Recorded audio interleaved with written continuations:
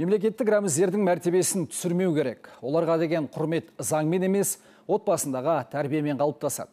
Осылай сенатор Әли Бектаев көк туды қорлаған жағдай көңілді құласытты деп отыр. Сондықтан алдағы уақытта заң нормаларын қатаңдатуға әріптестерімен басымдық бермекші. Ал бұл жөнінде елтаңба авторы қандай пікір білдір? Әріптесім Асылбек Тойбек айтады.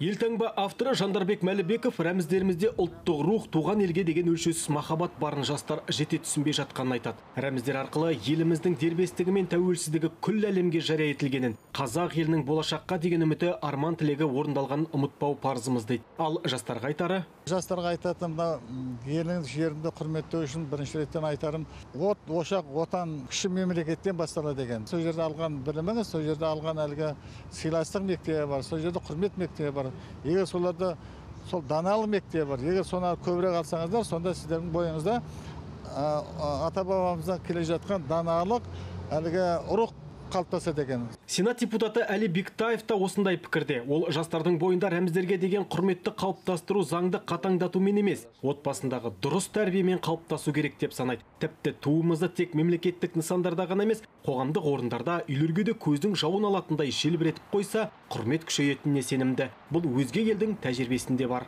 Заңды қатаңдату ғана аздық ететін шығар шынында шын айтқан кезде.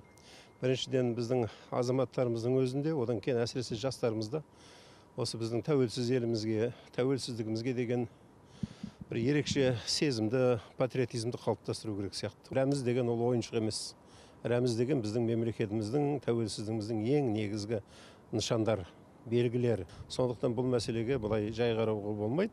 Әрине рәміздерге қатысты мәселеге бейжай қарамау керектігі рас. Ту елтаңба әнұран тәуелсіздіктің тұмары. Демек оны қорғау құрметтеу әр азаматтың қасиетті парызы. Айтпақшы егер кімде кім қазақстан республикасының рәміздерін қорлаған болса қылмыстық кодекстің 372 бабы бойынша екі жылға дейінгі мерзімге бас бостандығынан айырылады.